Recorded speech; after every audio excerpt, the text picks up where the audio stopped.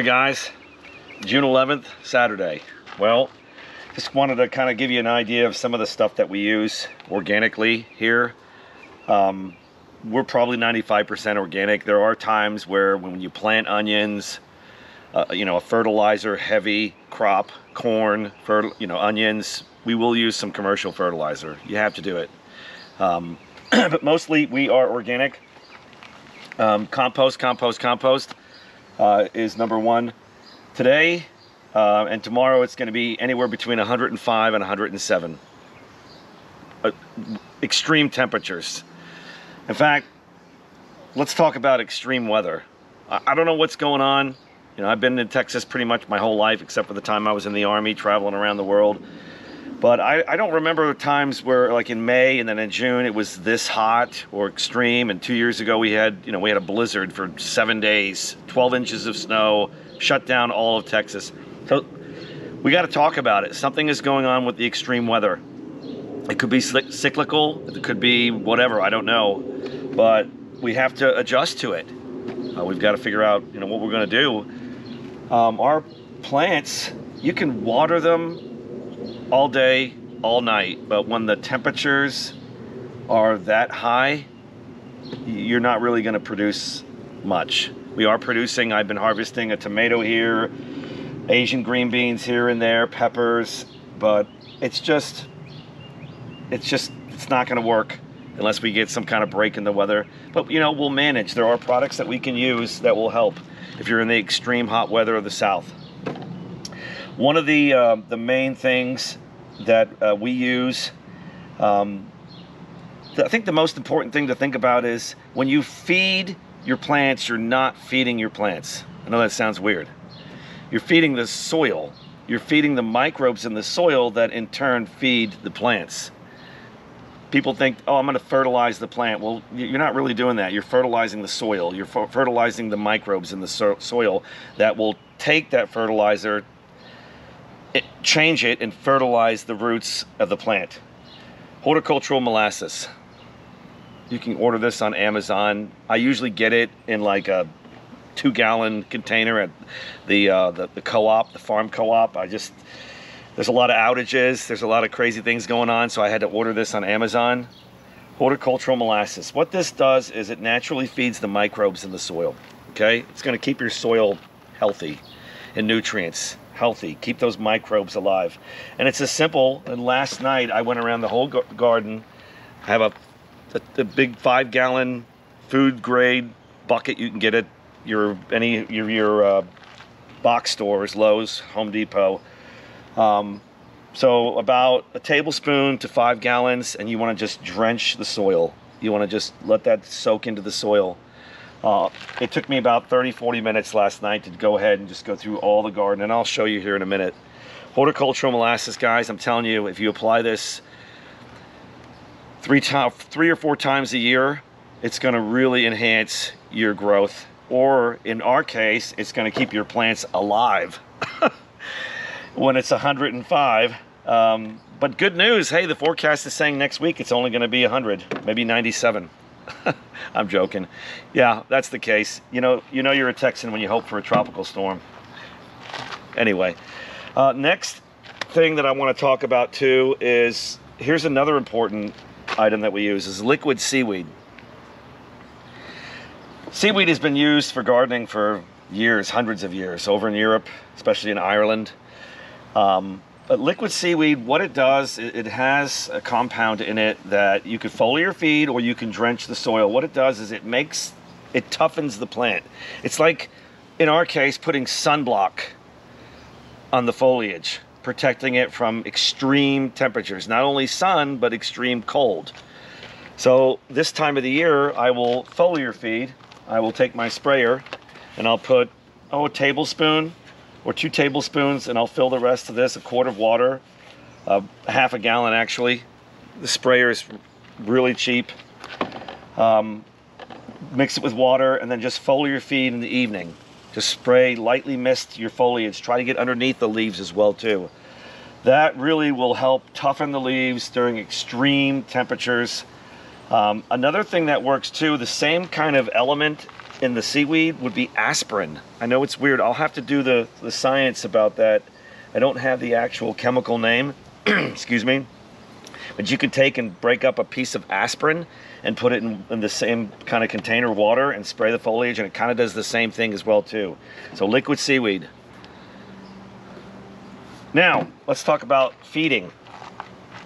Um, another foliar feeding or a drenching feeding would be fish fertilizer. And let me tell you guys, your neighbors are to hate you because it stinks when you apply it. But our neighbors are cool because we share our vegetables with them. Excuse me. But fish fertilizer, it's a 511, so it's pretty much just nitrogen. I think this foliar feeding is better than drenching, but I do add a little bit when I do my, my drenching with the molasses. Um, so fish fertilizer is really good. Again, like for a half a gallon, a capful or a tablespoon. Um, I would say once every two weeks, depending on the season, how far you're along. When your plants are first starting out, I would do it once a week. Um, it really will help the foliage and, and it'll, it'll provide nitrogen softly and naturally to the plant through the leaves. Um, I use also too, and I mentioned it before, uh, Medina HastaGro. It's kind of a combination of everything that we just talked about. So I will I will use that as well too. Now for pest prevention, that's another story. Um, we planted our squash in the Hugo hugelkultur garden, and I'll take you over there. Uh, and the squash borers just killed it, plus the heat. Uh, we had no rain in May, which we're supposed to have tons of rain in May. It's not supposed to be 100 degrees in May. Uh, average temperatures are upper 80s, but we had a very difficult spring or May with hardly any rain. We got those couple of storms that I was filming, but normally we get rain at least two times a week. We get heavy thunderstorms, and the temperatures are normally in the upper 80s. We were in the upper 90s, and 100 too. Um, so we lost pretty much all of our squash in the hugelkultur garden. But the cool thing about Texas is, is we can grow all year round. Um, I, mean, I, just popped more seeds in, just kept putting seeds in, just fortified, put more mulch. Uh, the other day, uh, during my lunch period, I, I just filled the garden with more mulch. The only thing I could find at the box stores was a cedar mulch, but that's fine. We're, we're heavy in um, lime here in Texas. Um, and if I have to, I could add more granule lime to balance the pH from the acid in the cedar. But hey, desperate times call for whatever. You got to mulch everything. So I put about good two to three inches of mulch all over the garden. Uh, and hopefully that'll cool the soil down uh, here, you know, today when it's 105 and tomorrow when it's 105 and 107 and who knows how long this is going to last. Um, but we've been we were invaded by the squash borer. It happens. I was too busy worrying about watering, and I didn't really worry about pest prevention. But uh, diatomaceous earth is something that I'm using now again, and I always use it. And I'll show you how I applied it around the, the base of the squash. Uh, that squash borer is just terrible. It just gets in there, that worm, and it just goes bores right through and just kills your squash. Uh, this is cool too. If you order this, I got this Harris diatomaceous earth crawling insect killer. I got this on Amazon just so I could have it quick. And it comes with this little little spray or puffer. You put it in here and it it puffs the diatomaceous earth. Excuse me. Another thing too is neem oil extract. Garden safe. This is really good if you want to hit the foliage we had um, the milkweed beetle. Oh my God. And I think it came in when we purchased the pine needle mulch. Uh, if you bring any kind of product in to your homestead or your, your garden, you, you may be bringing in pests. And it happened. Um, we had planted um,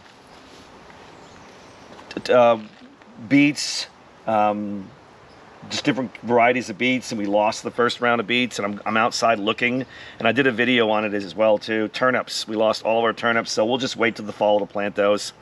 I'm not worried about it. September, October, we'll be planting all kinds of fall vegetables that we'll be harvesting in December, November, December, and even in January. Remember, it's not going to get cold here until January, February. Um, but I went ahead and used the, the neem oil and I also used the um, Safer insecticide soap. So I combined those two together um, and it, it, killed them. It took time. It just took a process. and I had to go out there actually too and, and grab them and squish them with my fingers. Very invasive. They are very aggressive. Overnight, they could just take a whole plant and just eat it to death. Fire ants, guys. Uh, hate them. Um, they're red ants. They, they come, they're Africanized. They come from um, Africa. They're fire ants. They're all over Texas. They're all over the South. Um, we, we know we do pretty good. Uh, I can spot a mound uh, when it when it pops up, and I'll take water, and I'll take orange oil. This I got this, and it has the actual chemical in it that you want it to have. Um, the balance in there, um, and I got this for I think five dollars at the Dollar Tree. A couple of capfuls or tablespoons. I put a half a cup to to um, to like a gallon bucket, and I'll drench the mound, and it'll kill everything. It'll kill them fire ants. So uh, we stay on it. We really don't have a problem. We cannot grow potatoes in the ground here. I've tried many, many times. I've tried different techniques. Um, every time we do, for sure, fire ants just consume the whole potatoes the, the mound.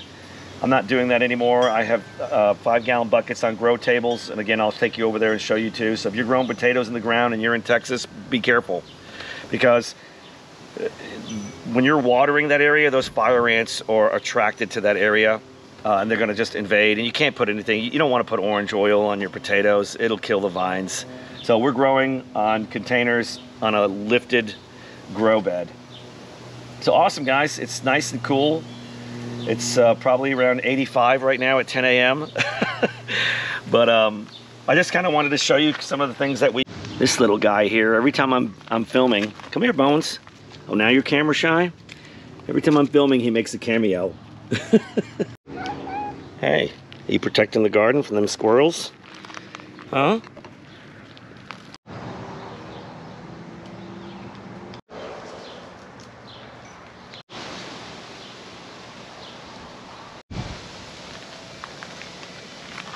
Right, guys. So we're in the garden. Hey, just so y'all know, I know it's silly, but every time I'm filming, I'm wearing the same white shirt. I promise you I have like six or eight of them. when it's hot like this, I'm wearing the same white shirt. But anyway, let's take a look. So we applied a ton of mulch. this is the chamoe, a Korean melon. It's doing very good. We're getting blooms, even in the extreme temperatures. We planted okra. It's doing good. Carrots are hanging in there. Again, with the mulch, the tomatoes are producing not as much as we would like, but we are getting fruit. Um, more squash. Again, we're cyclical. We're planting everything. We've got more tomatoes on here, San Marzanos. The beans are doing good. Everything along the fence is doing great. Uh, this morning I harvested some Asian long beans. Uh, these are really cool. Uh, they'll grow um, 12 inches or so. And you want to harvest them pretty much when they're thin like this. I'll give this another maybe this afternoon or tomorrow morning. I'll harvest that. Uh, we've got a bunch in the house. We're just going to chop them little one inch pieces and stir fry them. Uh, they're really good. Let's go over here and take a look at the peppers. Peppers are doing good. We're going to harvest these little little banana peppers and pickle them. I like those. Sriracha, jalapenos. We've got some pretty good peppers on here. We just need to let them go a little more. Um, everything in the pots are doing good. They're not really producing very much. These uh, pear tomatoes, they're producing and we're eating them. But, I mean, look at the foliage. Look at the foliage on this cherry tomato. It's just the heat. And I keep them watered really well. So what I'll probably do is prune the dead parts off. Um, and we'll see what happens here shortly. Armenian cucumbers, they're doing really good. I'm surprised with the heat, but the foliage is keeping them all shaded. We've got lot, lots of blooms. We should here, hopefully, start getting some cucumbers coming out. It will. It's just a matter of time, and hopefully we get a rain here pretty soon. Grow table's doing good. I'm going to be finishing off the, the series on that. We've been harvesting a lot of lettuce. I'll, I'll, I'll be finishing off that series. I'll probably post that probably Monday or Tuesday. Uh, we started that in March, so it'll be a good series uh, video. Potatoes. Fingerling potatoes doing really good in these pots. Horseradish doing good. Here's another chili pepper. Uh, these uh, San Marzano tomatoes are doing better, obviously because they're under shade cover. I think what I'm going to do next year is invest in more shade cover. Um, I used to, I, I had shade cover like this over the entire garden last year. Uh, it just tore up on me and I didn't reinvest. I should have, but I'm going to go ahead and buy a huge uh, shade cover like the one that we have over here, the, the Hugelkultur Garden. Uh, I'll, I'll, buy two or three of them and put them all over um, the main garden. Problem is, next year will probably be flooded out. Everything's extreme. All right, we got new squash coming up. Like I said, you know, we planted new seeds. Um, diatomaceous earth. Put them down at the base of the plant. Absolutely. We'll, we'll hope that the squash uh, worm does not get it this time. I'll be diligent. Uh, here's our uh, 30 gallon grow table. Uh, for those of you here in the south that have fire ants, I would recommend building something like this. Uh, I got the plans on Hollis and Nancy's homestead. Um, I'll put that link here in the comments, but this is amazing. I didn't think we were going to have sweet potatoes. Here are your regular sweet potatoes, and here's the Japanese purple ones. I didn't think these were going to make it, but they're just doing really good. There's no ants in here. The table is lifted off the ground. Um, I'm going to probably extend um, this trellis next year, double the height so they can climb, but they're doing really well.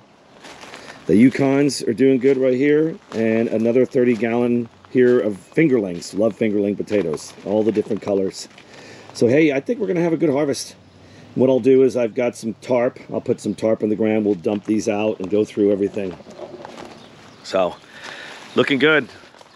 Um, the goji berries, look at this. They're just going crazy. I'm gonna have to come out here later on and trim them because they're flowering. I'm gonna probably come out here and just trim them down a little bit. But they're doing good and they're gonna be ready to plant all over the property. We're on a little less than a half an acre. It's an urban homestead. It's small. That's fine. You don't have to have a lot of property, a lot of land to homestead. Permaculture, look, if you've got grass growing, you can plant a garden. Uh, and we are thinking of expanding a second garden on the other side. Um, and we're probably going to do um, raised beds, garden tables, things like that. So we'll probably be thinking about expanding. Um, so yeah, that looking good. We're gonna make it through the heat. We did uh, some mulching. Uh, we did a deep soaking last night. Um, as far as watering, I think we're done until Sunday evening. We'll, we'll check and see what's going on with everything. But yeah, we're gonna hang out this weekend and I'm gonna take you guys into the kitchen and we're gonna make homemade pasta. We'll see you then. I wanted to bring you guys out here to show you um, the goji berries. They're doing really well. Um, I am gonna go ahead and trim them. I'm gonna cut them down a little bit because they're just really getting tall.